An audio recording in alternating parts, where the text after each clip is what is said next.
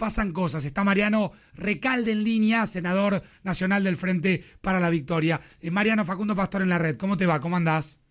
¿Qué tal, Facundo? Buenas tardes, ¿cómo estás? Bien, empiezo por la Comisión de Juicio Político.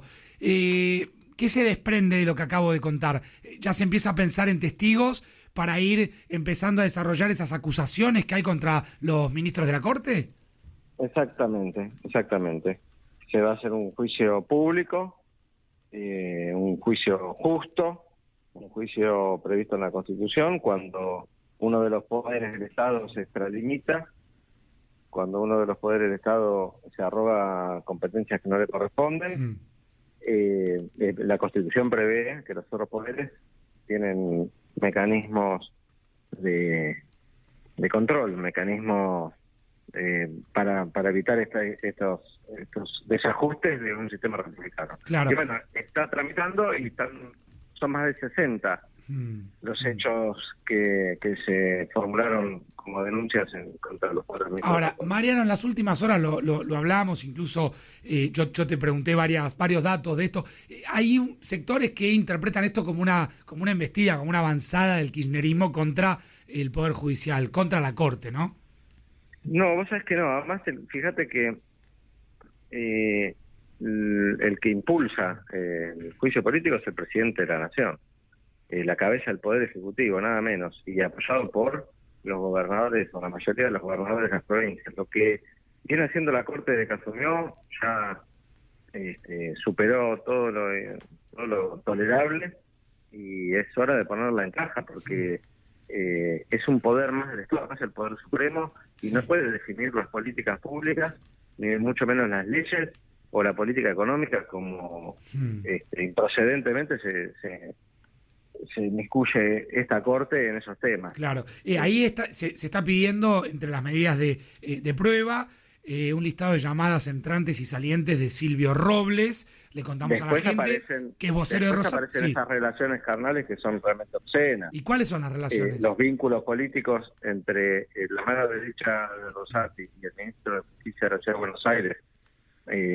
haciendo como mínimo tráfico de influencias y, y en connivencia para, para ver cómo desde la oposición del macrismo este, enfrentar al peronismo me parece que es impropio un poder judicial que tiene que ser independiente, independiente de los poderes políticos, independiente de los poderes económicos de los poderes mediáticos. Nada de eso ocurre. Están absolutamente, absolutamente ligados, eh, enmarañados con, con ese sector político. Y eso es lo que no tiene que tener la Corte. Después a uno le puede gustar, le puede gustar más un estilo o una corriente en cuanto al ministro de la Corte, eso se lo banca, ¿no? Si es más garantista, si es más mano dura, si es más pro laboral, pro empresario, pero que tenga una coherencia y una, y una imparcialidad. Esto lo que pasa es que eh, son eh, garantistas con los macristas, a quienes dejan en libertad, o con los genocidas de la última dictadura militar, a quienes dejaron libres, tipos que mataron, violaron, torturaron, secuestraron gente, la dejaron libre aplicando eh, o ampliando garantías constitucionales como el 2 por 1 cuando, a delitos que antes no tenían, como los delitos de lesa humanidad. Y por otro lado, se ponen ultra duros, se inventan una doctrina como la doctrina Irursum, convalidada por la Corte, por la cual se le aplica prisión preventiva sin juicio previo, sin condena, sin eh, eh, ninguna prueba a, a, determinados funcionarios por el solo hecho de haber integrado el gobierno y después, esa misma doctrina no se la aplica a los funcionarios del gobierno macrista.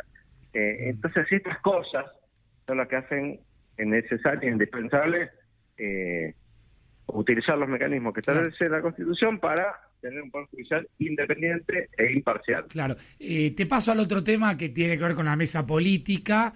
Eh, yo no sé, la, Cámpora va a participar de, esa una cuestión que te escuché eh, recién justo hablar de, de la proyección y de, de, que buscamos un relato épico y demás.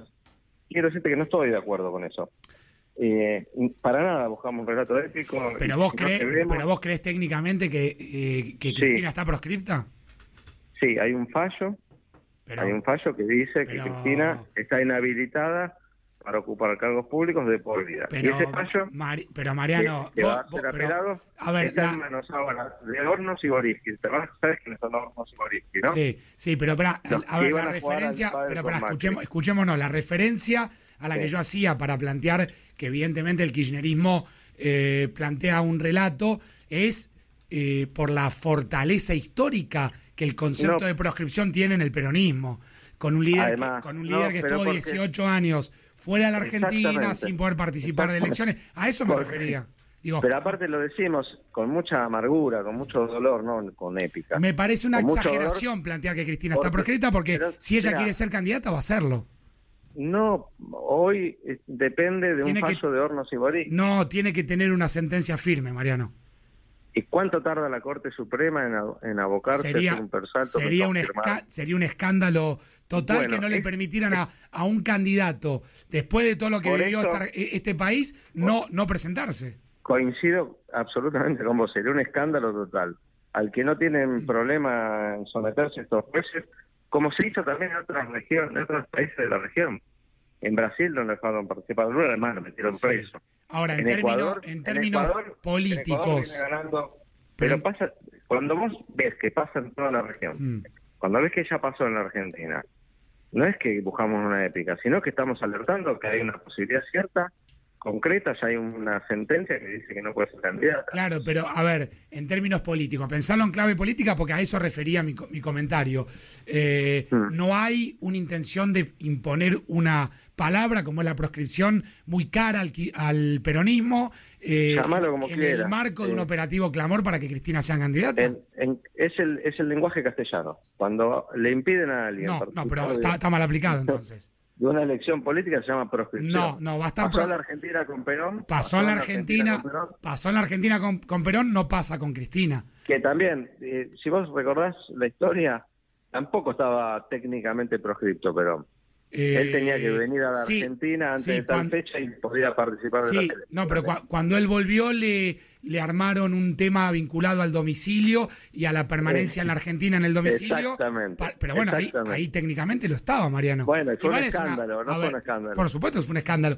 Eh, pero bueno, es una, discusión. Lo, que no quiere decir que nosotros eh, em, que denunciemos esto, no quiere decir que nosotros no optemos finalmente por participar en las elecciones y ver de qué manera eh, ganar también. Pero, pero yo creo que, pero yo creo que a vos te molestó que yo diga que es un relato épico, cuando no necesariamente negativo plantear algo épico. porque te digo que sí, eh, te digo que no estoy de acuerdo con, que nosotros busquemos un relato épico. Nosotros querríamos no tener mm. que, hablar de esto y hablar de, lo que habló Cristina en el acto en La Plata sobre la seguridad, los problemas de la gente, la inflación, mm. cómo alinear tarifas y, y precio de los alimentos con salarios y jubilaciones, que es lo que nos preocupa a nosotros. Pero cada vez que Cristina entra a la cancha, la quieren sacar del juego, porque es una, una dirigente que a pesar de 8.000 tapas de Clarín, no tres tapas, de 200 notas, de todos los canales de televisión tirando que son cosas, de juicios inventados, de persecución judicial como nunca tuvo nadie, y, y uno diría, bueno, después de esto le, le hicimos bolsa, nadie la va a acompañar. Y una enorme cantidad de gente la sigue acompañando. Te saco un minuto de ahí para hacerte una pregunta respecto a la mesa política, como última pregunta. ¿La Cámpora va a acompañar? ¿Se va a sentar en esa mesa? ¿Fue convocada? Eh, mira, no estoy en el manejo de esas discusiones y lo que sé lo sé por los trascendidos periodísticos que, todos conocemos. Así que no te puedo aportar información. Pero hoy va, pero va, va Guado como representante de la Cámpora hoy. Tengo entendido que está Aguado participando de, esa mesa, así que supongo que sí, y espero que sí, y ojalá que de esa mesa salga, salgamos más fortalecidos, que eso es lo que buscamos. Mariano, abrazo grande y gracias por la entrevista. Abrazo, no, Chau, chau. Mariano Recalde, senador nacional del Frente para la Victoria. Pasan cosas.